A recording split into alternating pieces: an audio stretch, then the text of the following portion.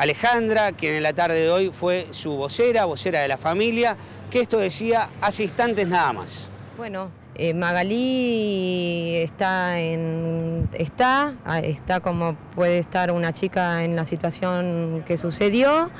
Eh, con respecto a una pregunta que me hicieron hace un rato, eh, a los dichos que están circulando por ahí, no tenemos nada que decir, cada uno tiene su defensa y bueno, y, dice lo que, lo que cree que, tiene que decir. Eh, bueno, ¿Cómo está Magalí? Y Magalí está, está triste, tratando de recuperarse.